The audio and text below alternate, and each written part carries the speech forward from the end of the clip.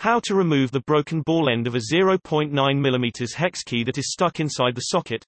While trying to replace the yoke of my derailleur I made the mistake of using a multi-tool 0.9 mm hex key that was not able to handle the torque necessary for the task and snapped while the head stayed inside. I tried using gravity, a magnet, shaking and all combined to make the head fall down, to no avail.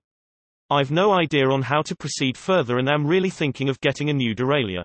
Derailleur with broken head inside hex key socket. Option 1, you say you've tried a magnet, was it a regular ferromagnet or a rare earth magnet? It might be worth trying to extract it using a strong rare earth magnet.